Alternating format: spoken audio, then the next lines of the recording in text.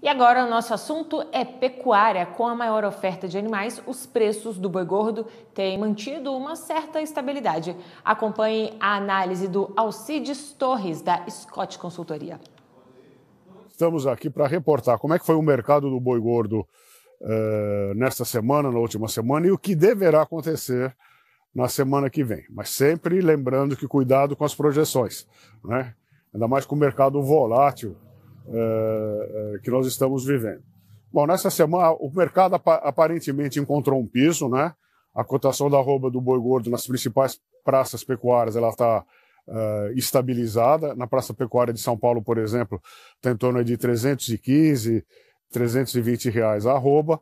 E os bovinos destinados à exportação, a gente já acha negócios de 330 arroba, sendo que a, a cotação corrente é de 325 reais por arroba. Ou seja, a desvalorização do real ela tem permitido que os frigoríficos que exportam paguem mais pela arroba do boi gordo. Isso é bom para o pecuarista, mas é ruim, por exemplo, para o frigorífico que atende somente o mercado interno e que tem que é, pagar preço de animal é, exportado e sabendo que o mercado consumidor está resistente à alta de preço, né?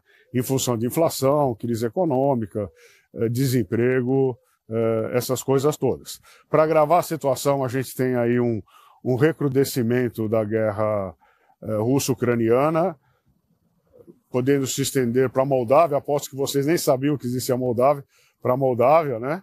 Uh, e isso, é claro, já tem provocado uma queda generalizada nas projeções com relação ao produto interno bruto mundial, né? Ou seja, em função dessa guerra, o mundo inteiro uh, ficará mais pobre.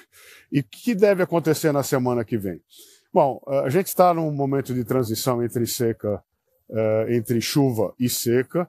A oferta de gado a partir de maio deve diminuir e, em função dessa escassez de oferta, a gente deve ter preços melhores para o pecuarista. A arroba deve ficar de firme para alta. Ah, se não acontecer na semana que vem, deve acontecer eh, nas próximas semanas. Tá?